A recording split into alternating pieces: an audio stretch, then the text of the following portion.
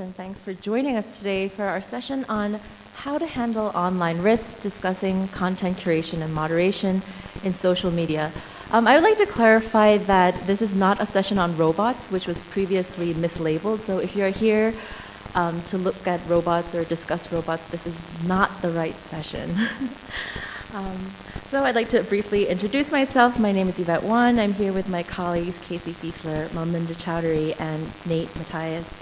And um, we will be uh, um, more facilitating this panel. This is really meant to be an interactive discussion. Um, if we were here just to express our opinions, you could read our extended abstract, but really we want to have a discussion with the audience, uh, especially with people um, from industry as well.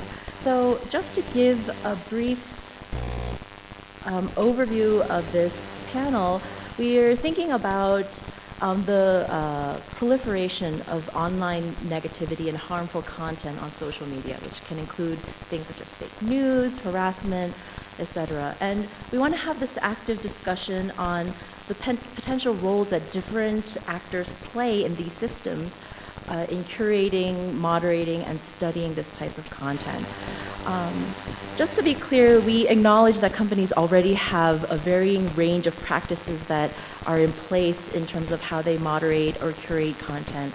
Um, uh, there are different methods, like some are more human centered, some rely on algorithms, and so we will, um, keeping in mind that these practices are already in place, we want to discuss four main questions starting off with uh, should social media companies engage in this type of content moderation? What kind of factors should be taken into consideration? What role do academics have? And um, looking at uh, kind of more of a discussion of the audience on these uh, varying topics. So before we go on, I'd like to uh, give an opportunity to our panelists to introduce themselves and their research and why they decided to participate in this panel.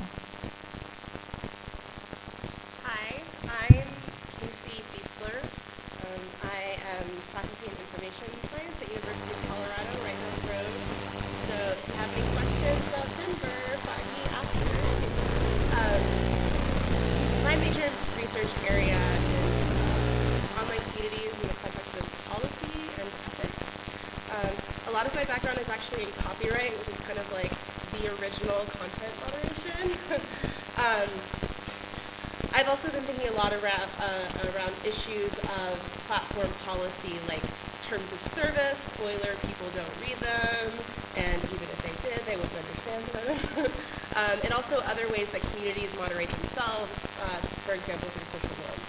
Um, so that's where my interest in this topic comes in. Hi everyone, uh, I'm Munmun De Choudhury. I am uh, a faculty at the School of Interactive Computing in Georgia Tech, and uh, I call myself a computational social scientist who is very interested in uh, developing computational models um, to improve mental well-being of individuals and populations. And uh, uh, I'm very excited to be on this panel uh, talking about uh, some specific forms of risks that manifest in online communities and in uh, social media platforms relating to mental health concerns of individuals. so, for instance, um, sharing uh, thoughts about suicides uh, or self-harm or uh, disordered eating behaviors. Um, a lot of our prior work uh, in this space has looked at um, how we can develop uh, uh, computational and machine learning approaches that can provide us insights into detecting these kinds of behaviors and then kind of thinking about how those approaches can um, work in collaboration with the moderators of these sharing these kind of risky content um, to empower their, them better and think about interventions uh, to mitigate uh, these risks and uh, make these platforms to be more uh, to be safer places of uh, I'm Nathan Matias. I just defended my PhD last week at the MIT Media Lab, uh, headed to Princeton next academic year. And I study basically people being terrible to each other on the internet and what we can do about it. Or to put it another way, uh, how to have a fairer, safer, and more understanding uh, internet. And I look at what we can actually do to create social change or other kinds of change, and how we can know that what we did actually was beneficial. So over the last couple of years, I've worked with uh, online communities and internet users to support them to do their own independent field experiments and A-B tests that allow them to build parallel knowledge to uh, what companies and platforms are able to do internally so that the, in the case of the United States, the nearly 100 million people who've taken some action uh, to intervene or support people who faced online risks can themselves have actionable knowledge about how to make a difference in their communities. Thank you. Um, we also had uh, a fifth panelist, Libby Hemphill, who unfortunately couldn't make it today for uh, family issues. Um, just to briefly introduce my work, um, again, I'm Yvette Wohn. Um, I study uh, social media and well-being, and I'm particularly interested in how small design decisions can nudge different types of behavior in online communities. So, for example, if you change the like button to a hug button, does that feel different for someone who's, who's receiving it? Um, so that has been um, my research in the past few years. So um, without further ado, I'd like to move to our first question, um, which is about should social media companies intervene in moderation or curation? And um, before we proceed with this, I'd like to remind you that uh, CHI um, currently has a tool for um, submitting questions if you feel shy about coming up to the microphone. Uh, it's Slido. You can use the hashtag uh, CHI2017 and submit your questions to our panel, which is how to handle on, online risks. Otherwise, um, there is a mic uh, in the middle of the room. I'd encourage you to please step, step up and, um, and share uh, your opinions or insights or experience with us. Um, so uh, to go back to the first question, the first question was, should social media companies engage in content moderation? I'd like to invite anyone up to the microphone at this point. Or we can start off with one of our panelists.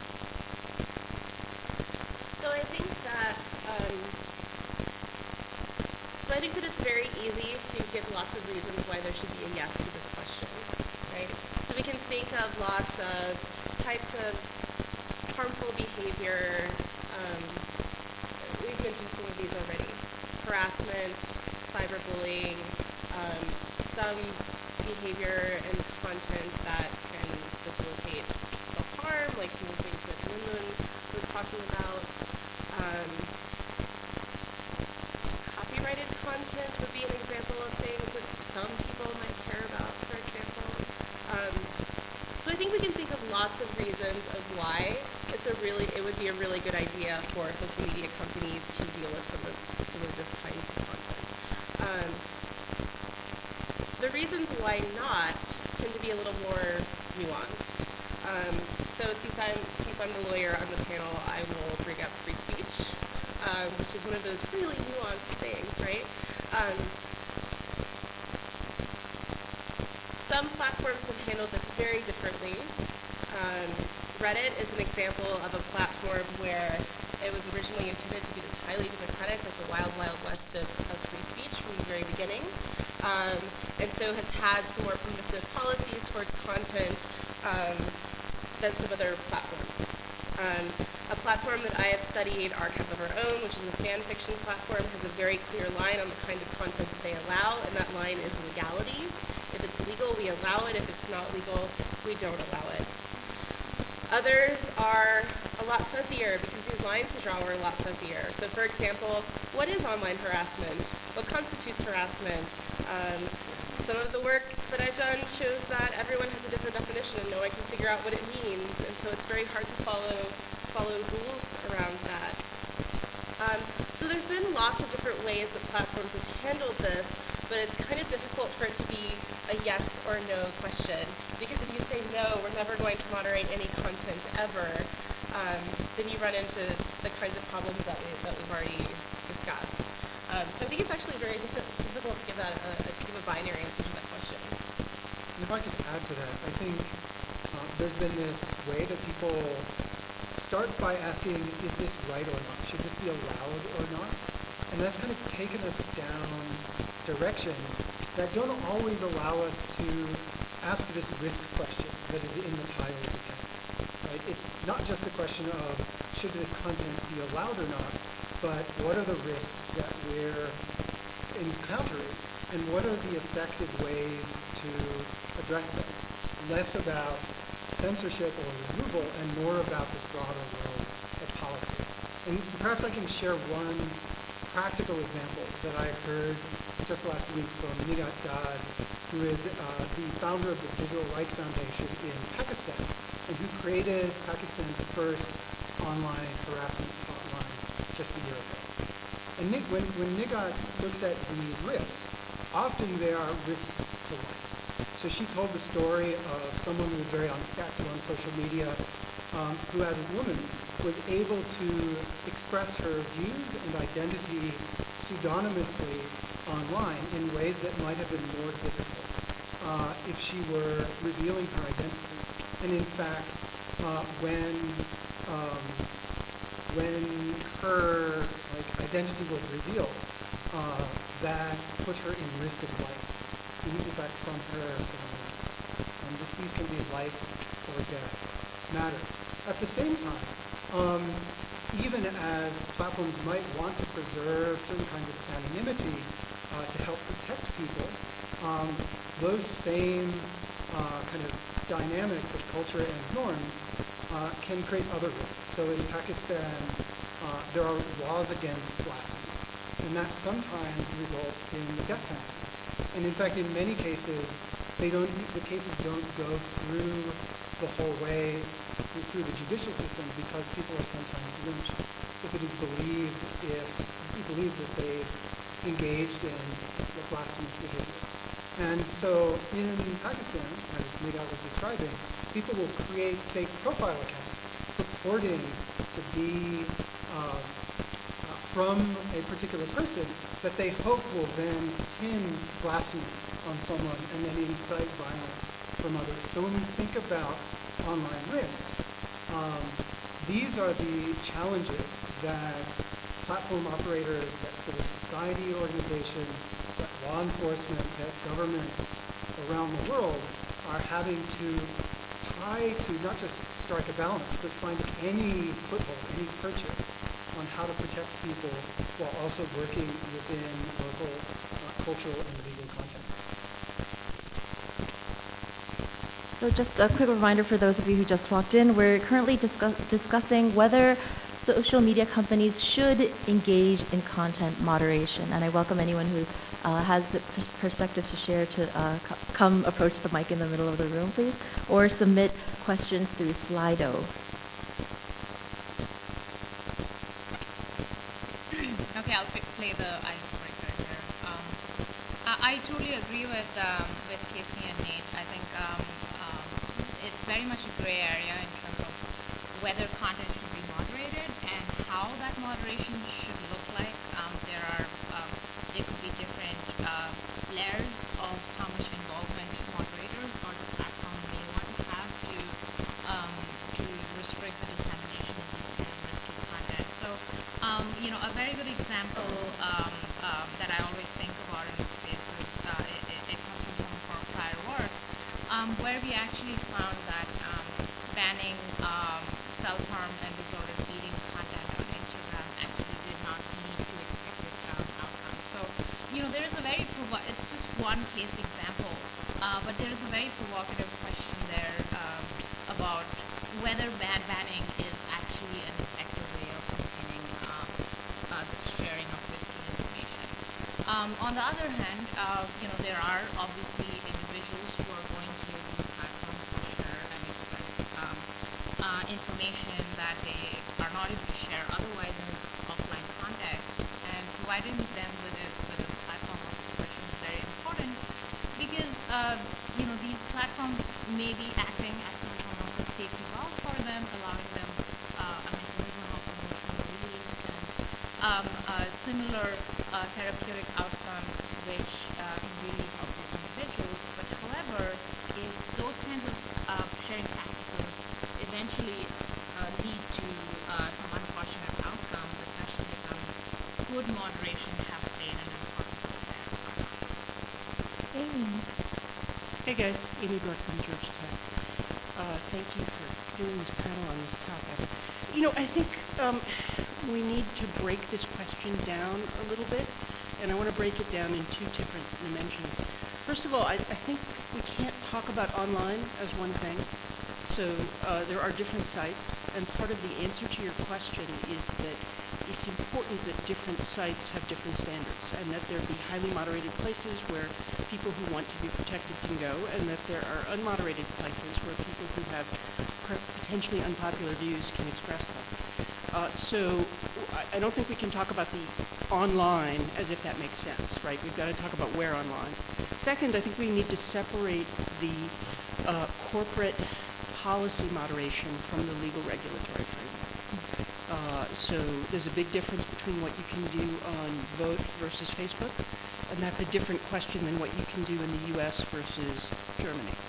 Uh, so uh, I, I, think as that's just a comment that we need to divide things in, on these two different dimensions.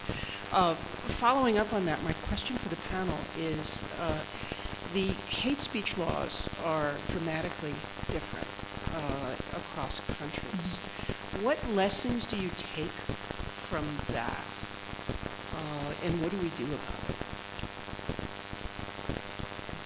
Yeah, we were actually discussing this earlier at lunch today, and um, although like a lot of the major social media companies are their headquarters are based in the U.S., they're global service, and societal norms as well as legal situations are very different.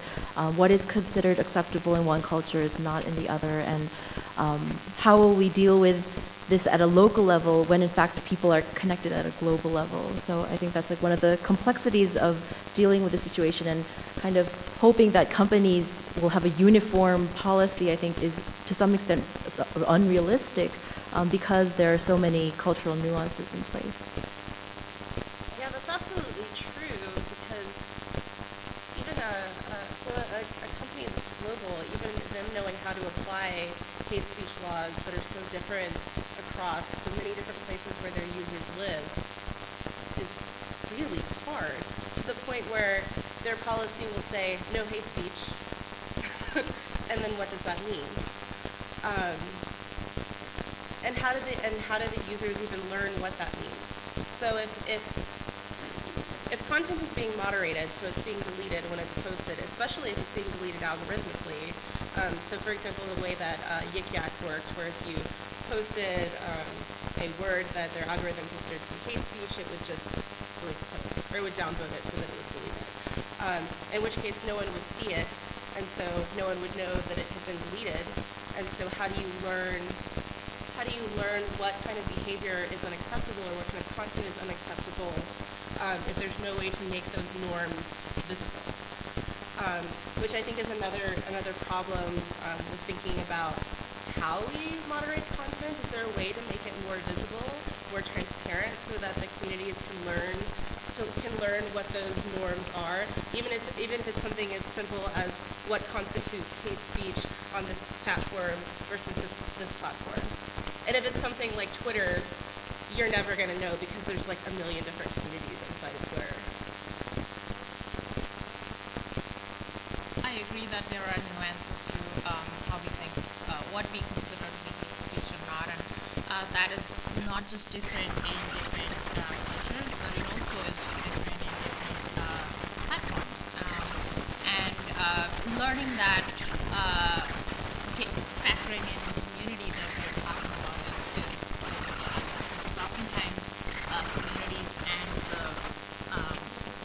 moderation uh, strategies are uh, adversarial in nature, and uh, communities, you know, keep on adopting new kinds of norms, and and then it becomes really difficult to identify what is it uh, that constitutes So I really appreciate your question because it, it, it it's one it like points to the kind of complexity and like the wicked problem nature of not just what do we do online, but like what is justice in governance and how do we determine it? And I think there are maybe three conversations that when we bring them together can help us make progress. Like one of those conversations is the conversation about what is just. And, and we see that conversation play out when different cultures and governments arrive at different decisions about, say, what hate speech is and how to deal with it. They have that conversation. But um, as like uh, Kwame Anthony Appiah points out in his book on cosmopolitanism, there's this tension where you know, we might want uh, communities to make their own decisions, but we still might want to be able to criticize or evaluate the degree to which that justice plays out in context different from our own. And I think that's where the second conversation about legitimacy, kind of goes back to Weber and political theory, um, and to conversations about like what is legitimate government. If there's a society where um, the laws have been crafted in a way that overrides the will of the public, or is not conducted in a way that, as I, as a pro-democracy, open society person, would say, this isn't being done with the consent of the government, that might give me grounds to like criticize or engage in a conversation about how things might be different. But then there's this third conversation that I think absolutely needs to be part of, uh, part of it, and Moon already alluded to it. It's this conversation about the effectiveness of governance. Uh, we may find ourselves in a situation where a society agrees that something constitutes hate speech and something should be done about it. We might learn that those policies were derived and enacted in a legitimate way, some definition. But we may discover, as Instagram may have discovered, um, that like, the outcomes are the opposite of what was intended. And that's the point where I think as researchers, we can meaningfully speak into all of those conversations, whether we do qualitative work, whether we're engaged in political philosophy, or whether, you me, we're doing field experiments to support like, public discussion as part of a legitimate governance uh, to make informed decisions about uh, their policies based on what actually those policies achieve. Yeah, that's a great point. And to go back to kind of Amy's question or a comment about not all, all online is the same.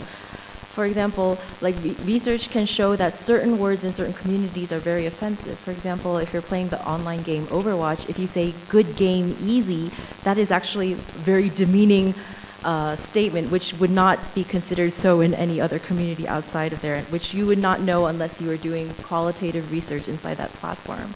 Um, so I think I, we'll discuss that a little bit later too about the importance of research, but I think thank you for um, your comments. We have a question from the audience. Should a social media company be allowed to state that it is not going to moderate or limit the content or comments um, uh, that were posted? So I think this is about kind of transparency of um, their policies. So the way I'm interpreting that question is should the company be able to, to, just not moderate any at all.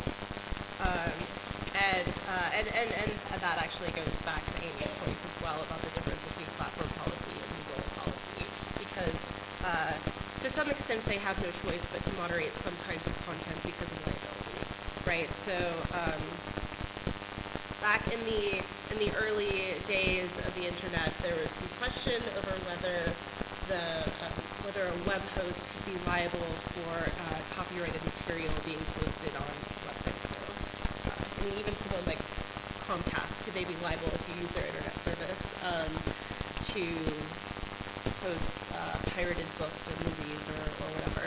Um, and this was a big problem because because immediately it seemed like it would be, it would be very easy for the, for someone to sue the person who's running the website, even if they didn't put the content there. Um, and so this is why we have the, the, Digital Millennium Copyright Act. This is intended to reduce the liability of, of uh, third parties. And the way that it works is you find your copyrighted material somewhere on the internet, and you let that third party know, and then they have to take it down. Um, so that limits their liability. Um, and when user-generated content became a huge thing in the mid-2000s, um, this started to apply to places like YouTube and Facebook as well. Um, but what this means is that they have to take that content down, or they can be they can be legally liable. Um, and so this like, can also apply to other other things where legality is an issue. Um, child pornography is a big one. Uh, spam. Um, even in some places, certain obscenity laws or hate speech, as we mentioned earlier. Um, but there aren't, for the most part, laws around things like protecting people from harmful imagery, um, or do or requiring someone to intervene if you know that someone is suicidal, for example. So these are the decisions that these companies have to make but to some extent, there's content that they have to moderate um, because of legal liability. I mean, I'm not sure what would happen if they decided to not, um, but I guess it would not, it would not deliver very well. Um, so the other part of that question is whether they should be required to tell their users what kind of content they're moderating. Um, I actually think that this is really important. I think that one of the ways that companies should be moderating content is by making it transparent for the exact reason that I said before, which is that if you don't know what kind of content is being moderated, then how do you learn what the acceptable behavior and content in, in that community is? Um, and being transparent is not putting a line somewhere in your terms of service because no one's going to read it. um, and so I think that we should also think about ways to make these practices more, more visible so that they can actually um, move towards social change and not just um, reactive reactive moderation, um, doing something about something when it happens, but instead trying to trying to change the culture to be to whatever that platform has decided the most positive way for the community. We actually have a user comment that kind of follows up on what you just said. Um, someone wrote, pragmatically, users don't disappear by banning, but they come back with new accounts or organize new communities. It is, is it better to ban and diffuse or to keep and contain?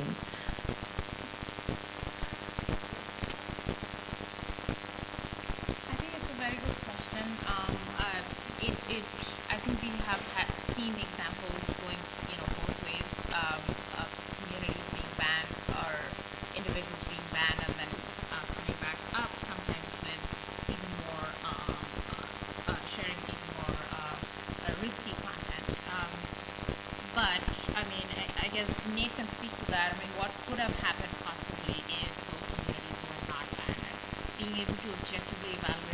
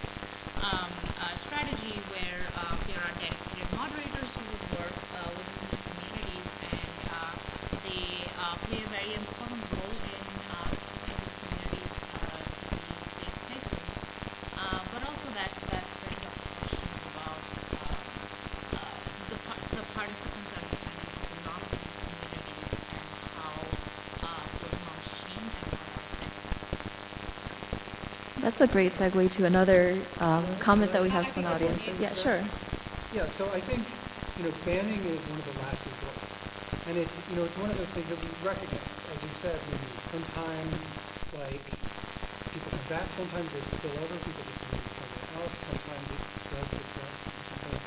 But, you know, when we move on from thinking about this kind of policing, reactive way of thinking, and we actually look at the problems that are underlying, uh, there's a whole new space of interventions and social change that we have available to us that we can try. You talked about making words more salient to participants. That's a great example of, of social and personal behavior change that you can do you know, well before anyone potentially would have to be banned. And so I think if we want to have the greatest impact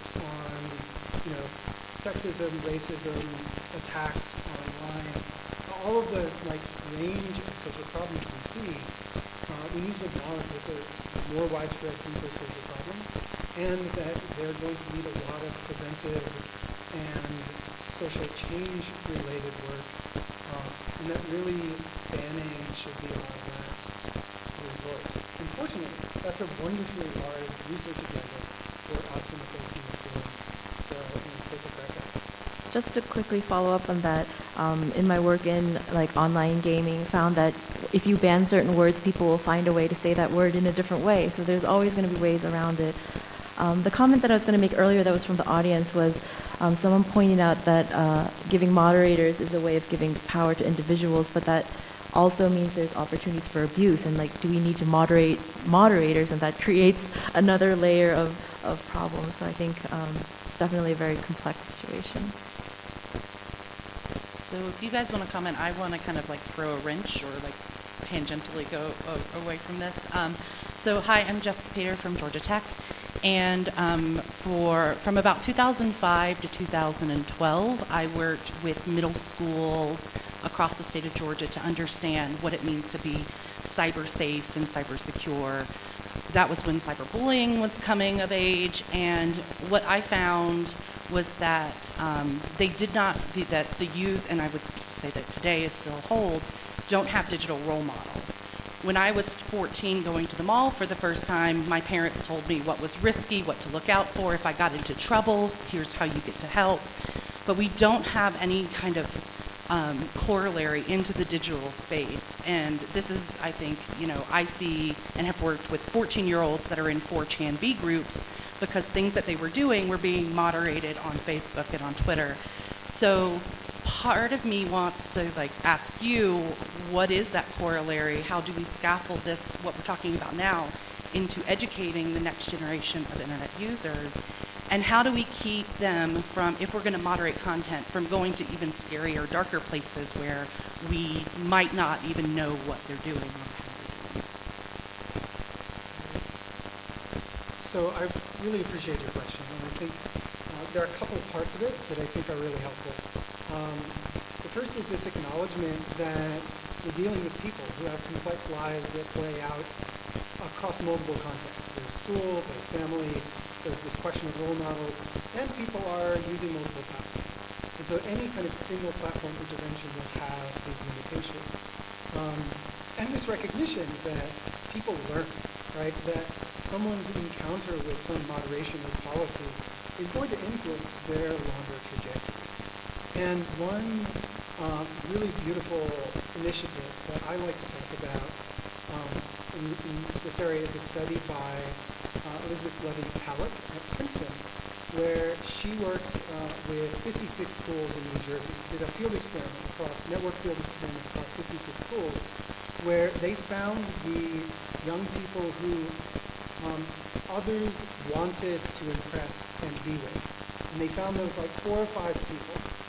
And they did an experiment where they then supported those people to get training in um, conflict resolution strategies. And they also gave them the, a little budget to create um, friendship bracelets, digital rewards, and other forms of appreciation they could give to the people they saw who exhibited conflict resolution strategies. Um, and they found that uh, by supporting young people to develop their own like efforts at reducing conflict, they were able to reduce disciplinary reports in New Jersey schools by 40%, which is a huge effect size, and I'm sure had all sorts of spillovers into people's digital lives. Great example of uh, you know someone using these tools of network science that are so familiar to us here in this room uh, to imagine an intervention that would help people um, help young people kind of take ownership over um, the kind of risks and challenges that they face in lives. And I would love to see more interventions of that kind and more interventions that then observe the outcome in people's digitally mediated behavior. Um, So, so actually, let me, let me add something to that. So, do we want to get rid of the dark places of the internet? Here's a, I, and I'm not saying that you're saying, that you're saying we should, we should.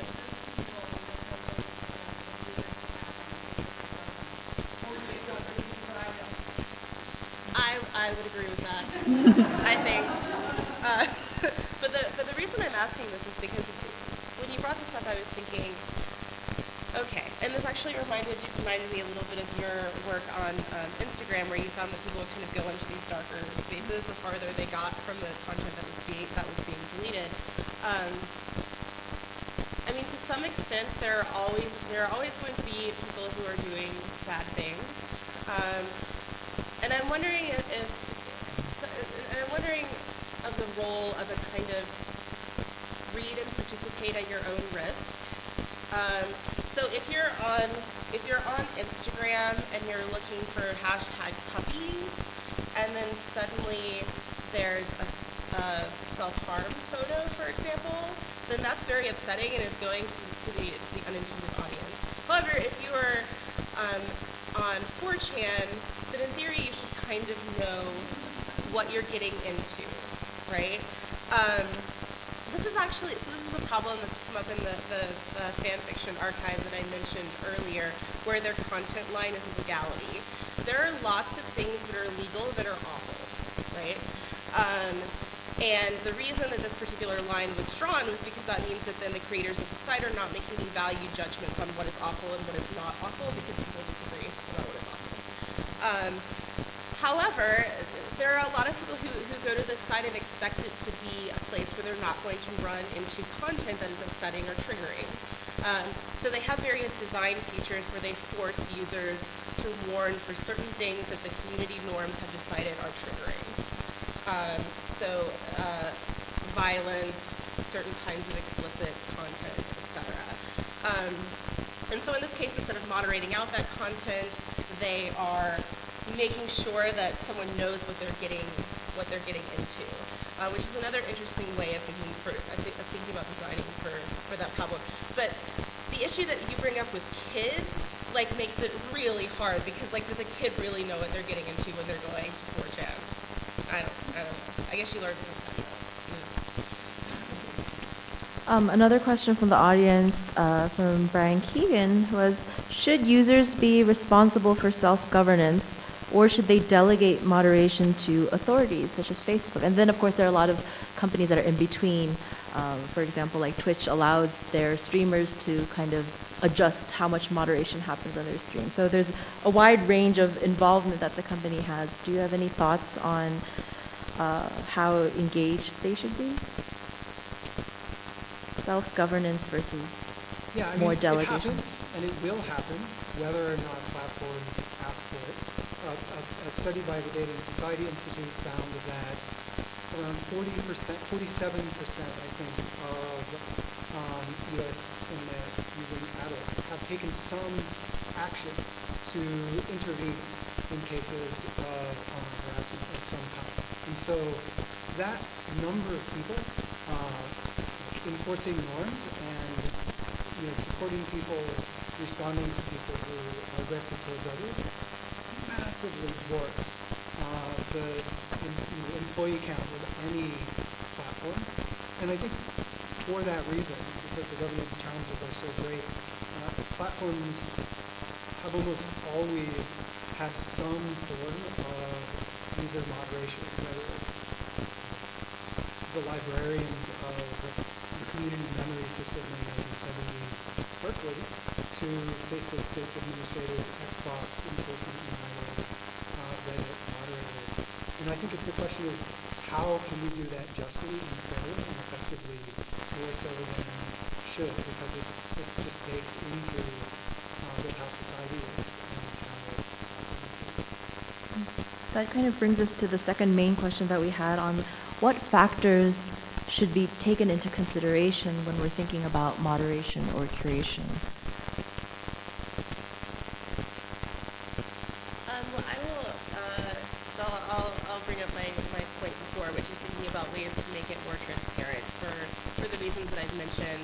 Um, both for the purpose of making norms more visible so we can actually influence the, the culture of, of the site, um, but also because, I mean, if the, if the rules that, and this is assuming we're talking about platform moderation more than, than user moderation, if the rules are hidden in terms of service, for example, and then users' content is getting deleted, they're not going to understand why. Um, it's not like they read those, right? Um, and so, to some extent, we're, we're, talking about you know behavior being regulated without without giving you any heads up that it's going to be regulated. I mean, um, so for example, a lot of people don't realize that the Facebook news feed is curated in any way. Um, this is one of the reasons why people were so upset about hearing about the Facebook emotional contagion study. It wasn't because of what had been done. It was, oh my gosh, I'm not seeing everything on my news feed. I had no idea that I was being censored. Um, and so I think that, that people often have a similar reaction for their content being moderated if they don't understand the mechanisms behind it um, and the rules, the rules behind it. So, um, as somebody who uh, builds computational models, I always um, think about this question about how we can, um, you know, have these algorithms to um, to actually empower uh, the moderators or the strategies that, a, that an online community uh, adopts to deal with uh, risky content instead of uh, uh, having an algorithm to be the sole authority that either bans content or uh, automatically employs some other moderation technique. So um, I know for a fact that in many um, mental health communities, uh, moderators uh, suffer from the scalability problem, so they don't have enough people to look at the content and content that should uh, be taken down because they are not uh, likely to be helpful uh, to the people who are coming there to seek help. Uh, but however, uh, they don't have, um, uh, they're not able to scale it up to, to the levels that they would like to. Uh, and I always think about uh, these computational models uh, uh, as sort of like a mixed initiative for uh, human-machine collaborative uh, uh, uh, systems uh, where they could actually empower uh, people to uh, do a better job uh, and scale their uh, efforts uh, in a way that uh, is helpful for the community. And I think the, the transparency um, question is a very important one. And when we talk about algorithms, other questions also come up. Something that Nate mentioned was, uh, you know, fairness, and that's something to, uh, to think about uh, in these communities. You know, many times we are dealing with uh, uh, not just uh, fringe uh, segments of the user population, but also uh, people who might be marginalized in one dimension or more. And so it's important when we are thinking about moderation and thinking about these, bringing these computational models to bear on, on, on helping uh, these tasks. Uh, it's also important to think about fairness and. Um, speaking of computational models, uh, Andrew McNeil pointed out or asked, is it possible to characterize types of speech so that we can exclude extreme forms of speech while allowing some potentially offensive forms? I think, especially when we're doing algorithmic curation, that is a very tricky um, thing to distinguish. Absolutely, it's uh, it's very tricky. It's uh, it's an evolving problem. Um, uh, like I was mentioning earlier, what is hate speech or what is risky content? That definition keeps on changing even within the same community. So I I actually don't envision these algorithms to work uh, as standalone systems, but uh, to have uh, some kind of human guidance that can um, help them um, learn in an online fashion to know what these uh, what these changes are going forward, so that they're able to identify the right kind of uh, uh, linguistic signals or other kinds of signals that the communities And, you know, it's happening all the time.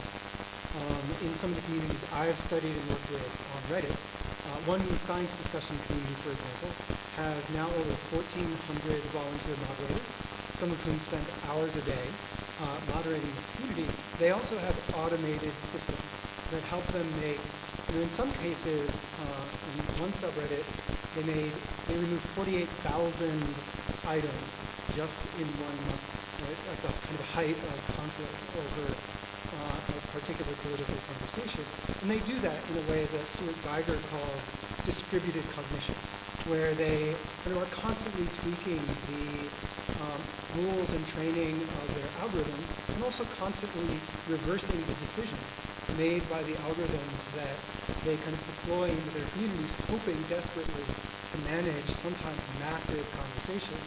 Um, and you know nobody's entirely happy with it, but not everyone acknowledges that, or most people acknowledge that uh, without those extensions of the human capacity, um, certain particularly bad conversations might be even worse crash fires than they already are. And hopefully, you know, as the computational systems become more accountable, more easily trained, more easily tweaked, uh, the kind of overlap between the will of the community and its capacity to handle large may converge uh, more closely. So I think your point about reversing decisions is actually really important. Um, so again, like some of the like original content moderation is around copyright, right? Because of the liability. Um, and so I, I'm assuming that all of you have probably at some point gone to YouTube and seen like a black box and it says, this video has been removed due to a copyright claim from your favorite music studio. Um, and uh, so this is mostly done algorithmically now. So YouTube has an automated content ID system where you know they have a huge music library, and when someone uploads a video, it immediately tries to match it to this library, and then if it's matched, then various things happen based on what the copyright owner wanted. So it might take it down, it might put ads on it, give that money to the copyright owner, um, these, these sorts of things. Um, so basically, an algorithm will never be able to um, to identify fair use. I mean, it's just it's it's almost impossible. Um, and so there are there are false positives for this system. Um, but the only way to deal with false positives in this system is for the YouTube user who gets a scary letter saying, you know, so and you, you know cease and desist. So so and so has uh, has said that your this work is, is copyrighted. Um, how you file a counter notice, but be really careful because if you're wrong, then you'll get in lots of trouble. That's, this is actually a direct quote from their like animated cartoon version of copyright law. um, and it makes it sound really, really scary. So there's this really heavy imbalance of power there where the, the, um, the moderation system doesn't really have a, have a human component and the mechanism of fighting it sounds really scary. Um, and so I know from my work that basically people don't fight it. Um, and so I think that it's really important that in any kind of moderation system that there's some there's some form of, of, of governance where you can say no that that content was actually okay because otherwise you're just going to drive users away from the community because they're going to feel like they're not welcome. Um, we've talked a lot about like algorithmic moderation. I want to turn the conversation a little bit back to human moderation. Um, we know recently many companies have been starting employing more people to monitor uh, deviant content on the internet. Um, there's a question from the audience saying, for content that is moderated by a human, is there research that helps support the humans who do this, considering the content they review can be traumatizing? Um, and I'm not familiar with any research on traumatized moderators, but I do know that there's a lot of research on um, people uh, who work at, in telephone kind of customer service, um, who, who have to kind of deal with like malicious content over time. Are you familiar with any research on the moderators who have to really look at, go through a lot of negative content?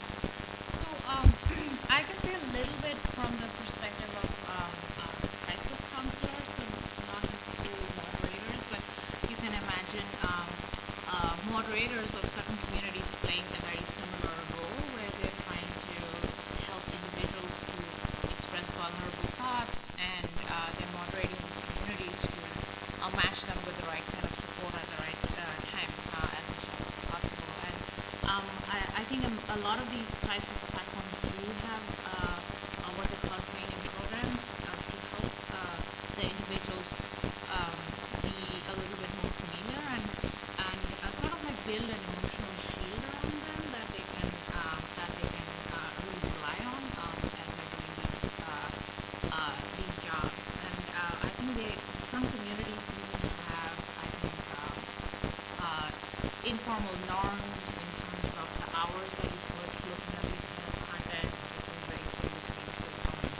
uh, you're moderating these kind of content for so long, or not doing that, and uh, we take turns to that. Uh, but I don't think that there is a formal uh, set of, um, I don't know, um, best practices uh, that communities have come up with, uh, and I think it's much needed. So, um, a couple of years ago, I was fortunate to facilitate a crowdsourced lit review of research related to online harassment. It's on the Wikimedia site under Online Harassment Resource Guide, and we looked at this question of secondary trauma. Munmun is right that there isn't a lot of public research on like moderators specifically. There's, there's work on crisis counseling, there's work on social workers, and there's also work, some work on uh, journalists who do social media curation.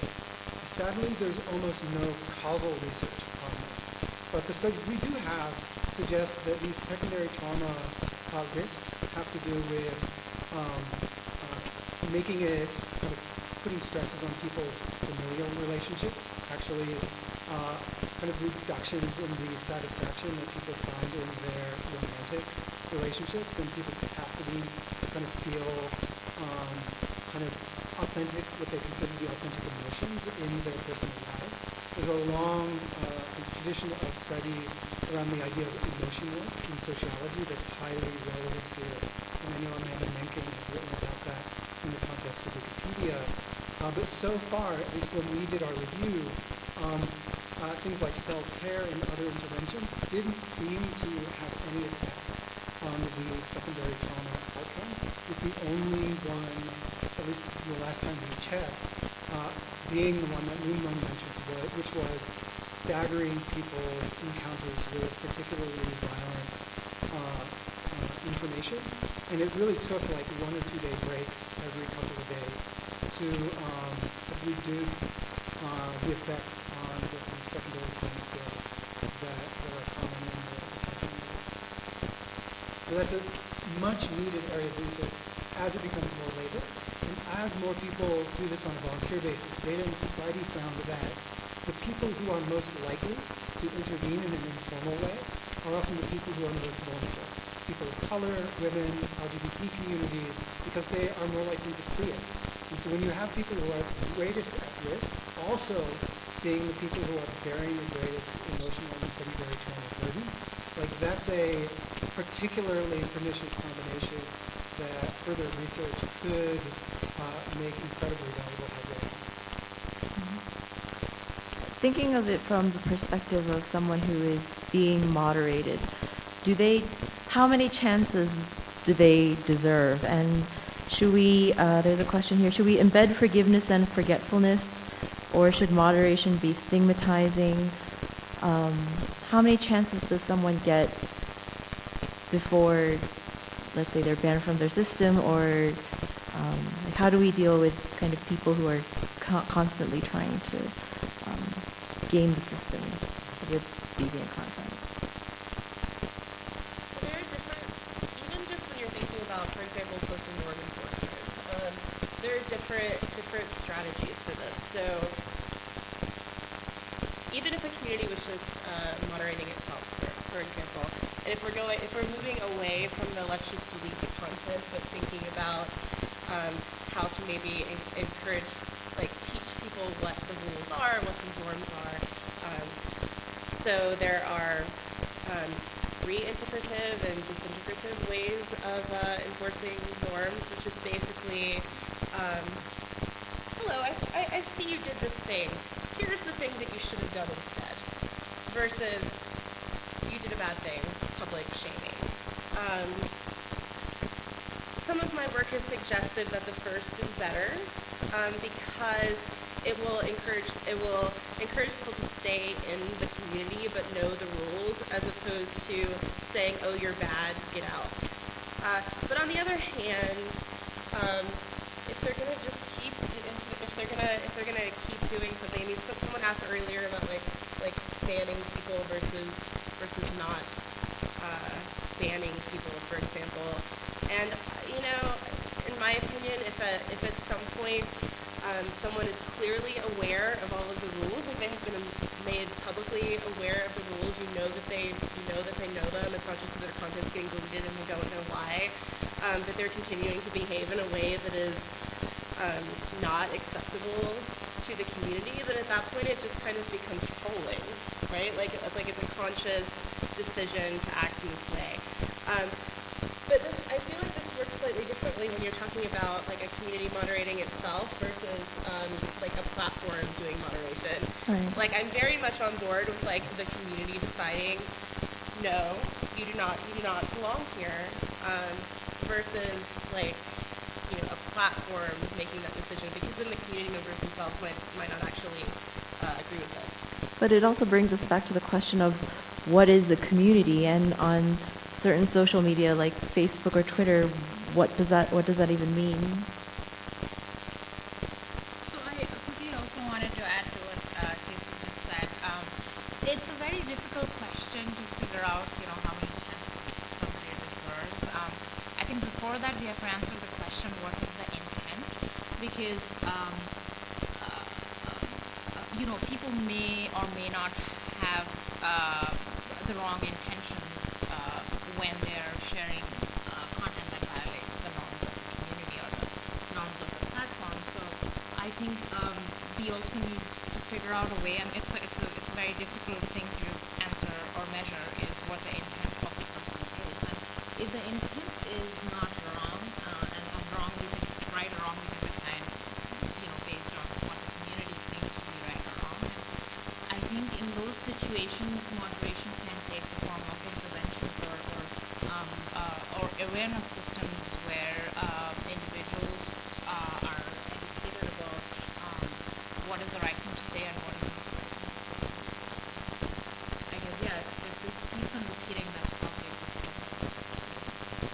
I, I think this is one of those areas where these three questions, justice, legitimacy, and effectiveness, actually help us gain purchase on, on this issue. Like, there's the justice question. Maybe you're in a vulnerable community, and like, one strike is really all you can allow. Because if people are really being harmed, you just can't risk it. Uh, but there might be other contexts where you're worried that that pushes people elsewhere, and you have more leeway. Um, then there's this legitimacy question, like Casey pointed out. Like, do we trust platforms to have legitimate power? We trust government? We trust community to have legitimate power? But then there's the question that seems to be also uh, kind of behind what this question asks, which was, what is effective? And that's where I think uh, supporting communities to do their own randomized trials can be incredibly valuable. In fact, I have a pre-analysis plan currently published for the Open Science Framework um, that looks at this question. And you can imagine uh, a wide range of communities with different risk uh, profiles, with different norms, uh, with different concerns and goals, uh, doing similar experiments, replicating each other's studies, and finding out, in my community, is a free strike system going to work? If so, what are the best ways to walk people through those strikes? And does that lead to the outcomes that we care about? And so when we combine those to justice, legitimacy, and effectiveness, I think we end up with a clearer path as a community and society for answering those questions. I want to come back to the role of academics in a little bit, but to address the point of effectiveness, um, there's a question about are there any examples of social media companies that are actually doing a good job preventing all types of online risks? What can we learn from them? Um, and I'd really like to invite, especially our uh, industry partners in the room, if you could share some great example of uh, what you're doing uh, in your system that you have found to be effective. Um, I welcome you to either um, post uh, or um, come up here to the mic. Um, but for the panel, in the meantime, can you think of any online platforms that you think are doing a good job? I mean, maybe they're not doing a 100% good job, but maybe in like one area they're doing a good job.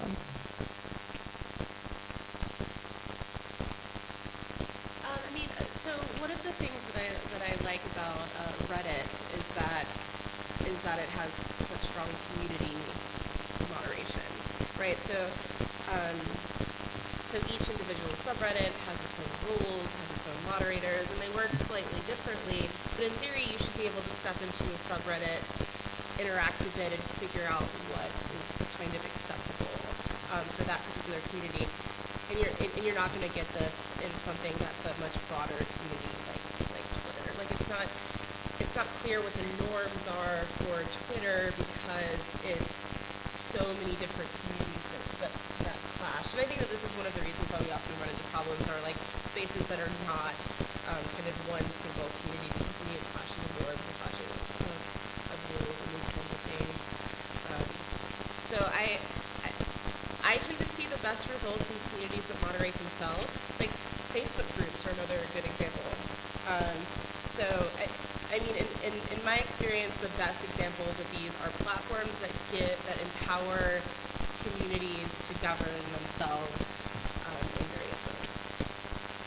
I think that's a great point about the smaller communities because one of the reasons I really like Twitch is that every person who um, puts their streaming content online has the option to choose what how they moderate their own little community. So um, in that sense, it's like very there's a lot of autonomy for the person who's generating the user generated content. But I realize for other communities that's more difficult.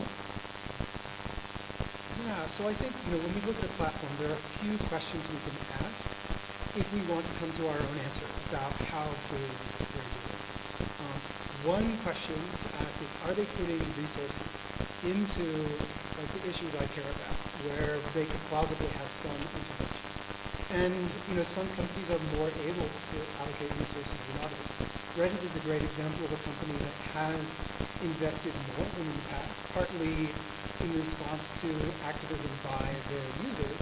Um, and uh, but they're, you know, just as an observer of the, the industry, I should note that I've, I have no formal relationships with any company can go except funding in companies, just so you so to be transparent there. Um, but you know, they collect less personal data. Their advertising system is less lucrative than other platforms, and so they have fewer resources to put into these issues than a company like Facebook, which has you know almost a decade of like engagement over different of analytics. And that second area, that level of, kind of responsiveness and participation, is another question to ask.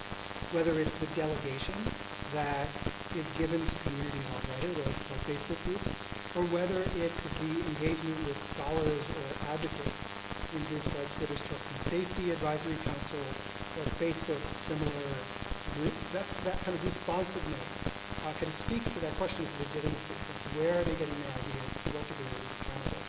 And then the third area, as a researcher, to what degree are they doing work that is based on evidence that is transparent? So we look at you know, organizations like Nextdoor, which while they haven't published the full results of their efforts to kind of reduce um, racial profiling on their platform, have at least admitted publicly that they've done field experiments and they've re- reported the effect sizes on the interventions that they designed together with police departments and communities affected by racial profiling. Just to kind of follow up on your comments about Reddit, someone from the audience said Reddit banned the sub-communities Fat People Hate and Trans Fags, um, but they migrated to a different site, voat.co. Is it Reddit's fault for forcing these deviant users into darker corners?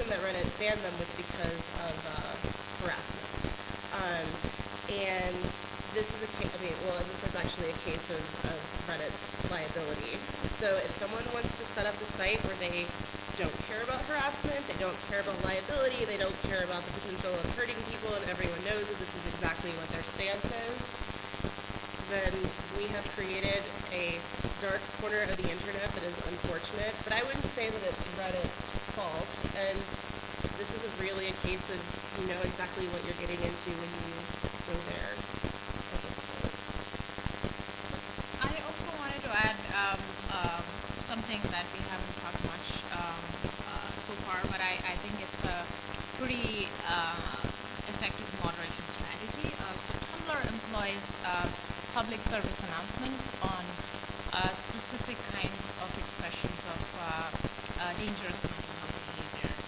Um, I don't think Tumblr has released any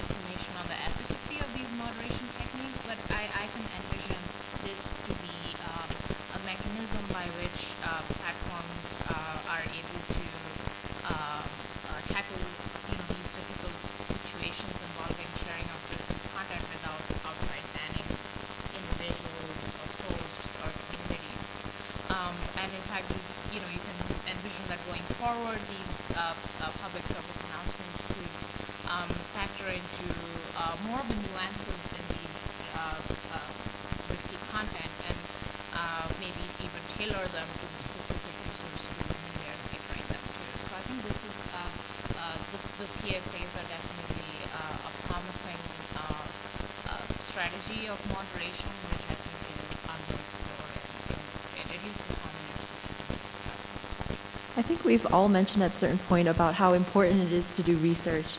And uh, as a, academics, of course, we have a bias towards that. But I was wondering if we could discuss a little bit about what role, if any, do academic academics have in intervening or discussing industry about their practices. So, you know, I think we have a like massive, dramatically huge shortfall in our knowledge for addressing. Um, partly because like online risks evolve rapidly, uh, and partly because we're talking about the risks that pervade society worldwide. We have platforms that are literally reaching billions of people and increasingly expected to intervene in those people's lives. And you know, when we look at the area of online harassment and moderation, we have less than 10 causal studies of any kind in this space. A couple of randomized trials. Um, when it comes to field research, there are, you know, there are there's a great tradition of lab research, which is really wonderful. Um, that gives us like theoretical you know, valuable perspective. But when it comes to field research, testing things out in the world or doing observational studies like you've done, we are like, we have paltry levels of causal, causal knowledge. And uh, to get to the point where research could actually guide people's interventions across cultures, take a platform like Reddit where you, you have hundred, you're over 100,000 active communities. To get to the point where uh, moderators would feel like they have locally appropriate, usable, effective knowledge on how to deal with things. We're talking about thousands, if not tens of thousands of studies. Um, and so I would argue that we need to reinvent how we do research. And just as we talk about platforms delegating power to their communities to set policies, what I've done in my research has been to support communities to also do their own field experiments their own A-B tests to answer these questions, to replicate each other's studies with the goal of being able to generate thousands of new studies a year so that our knowledge can adapt and respond to emerging that's what I'm hoping to do with the CivilServant nonprofit, which we announced this week. So if there are researchers here who want to help support that vision, um, I'm actively recruiting people to help do that and help us figure out how to fund and sustain that.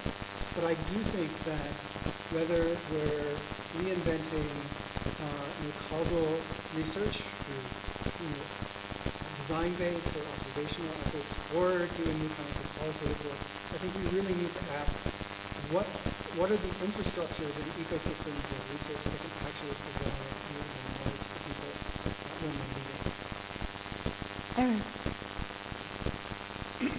you had a comment? I, I can wait for this time to Um, Um, the other thing that, that, that I would add is that uh, the one thing that academics can do that is study things cross platform, which I don't actually think we do enough of. Um, so we have a lot of we have a lot of work that's like this thing on Facebook and this thing on Instagram and this thing on Tumblr. Um, and obviously, uh, you know, Facebook isn't going to do a study of moderation practices across platforms other other than, than Facebook. Um, and so I think that that's something that academics can offer is to is to um, be able to look at how things are more uh, on the generalized level.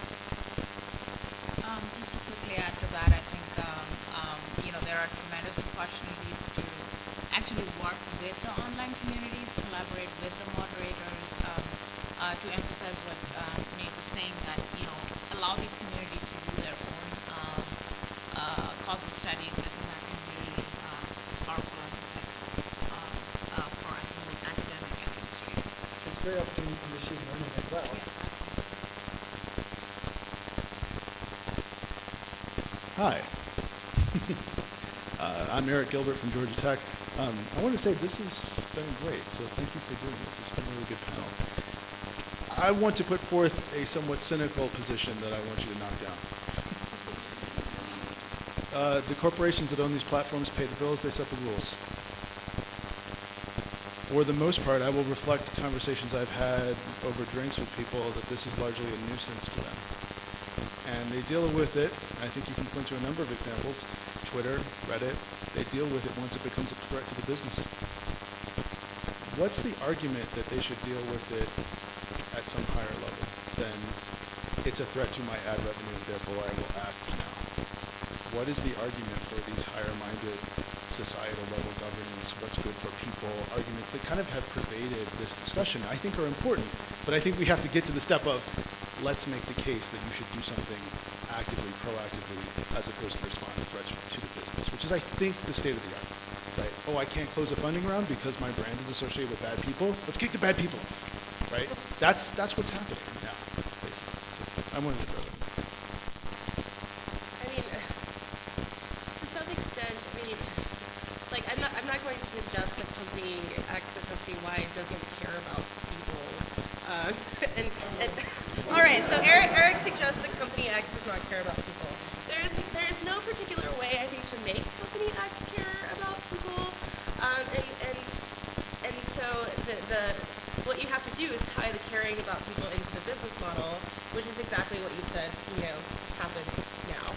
Uh, but I would think that, that as this kind of thing keeps unfolding, that it becomes clearer and clearer that it is bad business to be to not care about people because it will come out eventually. Um, so I so I recently judged this um, technology ethics competition at my university where um, there were these groups of law students and computer science students and business students together who were like solving this ethical dilemma about social media companies. Um, and and one of the groups was uh, basically came up with this solution to this problem that was like, we're just going to try to keep this information from our users so that they never find out because then they will keep using our system and we'll make lots of money. And uh, we're like, well, you have just made you have just made a horrible business decision. Actually, it was clear that like the business students in this group dominated.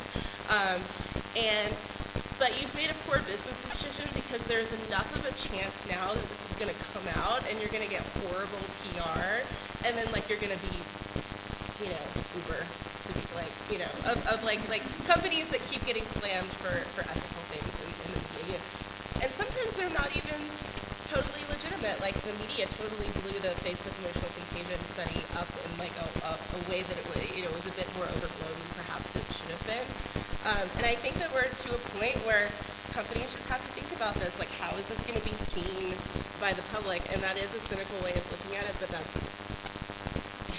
let's we keep calling them out. I have a- We'll keep thinking about it. I have a slightly different perspective. I think that they should care about this because there will be, there might be another competitor that deals with this in a better way, and people will just migrate. Um, I don't know if you remember, uh, there was a site called Juicy Campus a while back. It was kind of like Yik Yak, and I guess Yik Yak never learned the lesson from Juicy Campus. But um, it just became a really toxic space, and people didn't like it, and it just kind of self-dissolved because people moved to another space. And I think, of course, it's tricky when you have services like Facebook um, that have like billions of users, and like they're not going to migrate overnight. But there's always, if someone comes up with a better system, there's always like uh, market competition. So I think that they should think about, of course, the ethics is important. We all need to make like good human decisions, but I think they should also think about that. Um, so I just wanted to quickly add, um, as somebody who has spent a little bit of time, doing industry research, um, I wouldn't like put you know, a, a blanket um, statement that um, companies do not care about users. Um, I think many of them do. Um, how they care that differs in terms of how we think they should care and how they think they, they care. Um, what happens with these kind of content is that, as we were just discussing this before the panel, is these communities are often perceived to be uh, fringe communities, so these problems are also considered to be fringe problems um, until you know they become uh, really big, uh, and which is why I think communities are not allocating as much resources, effort, and, and uh, whatnot uh, to, to address that. Uh, but I think you know we have seen the last few years that many many companies are trying to at least move in a direction where they have some stake in the societal good, um, not just you know uh, being big Silicon Valley players. So I think you know that that that is I think the welcome change in the attitude of these companies, and um, hopefully we will see um, more investment from these companies going forward in this uh, important topic. We're running out of time, so. I will try to be brief. Um, so Eric pointed out a particularly um, unfortunate cycle uh, where some societal ill is identified, often with a particular case that's horrific. People put pressure on companies to do something, and then they do something. And that's what happened in the Instagram case that you studied. And the, there, was, there was an effort put in so quickly that it took years before someone came in and actually evaluated whether that uh, policy made a difference. And so we absolutely need to move beyond that particular like pressure, PR, respond, do something cycle. And we need to find a way to do that that um, actually respects companies' acknowledgement that they're not governments. Right? When we pressure them to govern our lives, we're asking them to do something that companies aren't necessarily designed or structured to do. So this is actually one area where I think we have a great opportunity to collaborate with uh, platforms to acknowledge the fact that um, we can't rely on them to decide what is acceptable behavior for humanity and bear the kinds of responsibility that we sometimes wish they'll bear. And we need to find um, you know, more publicly accountable, more participatory, democratic processes for actually addressing these challenges.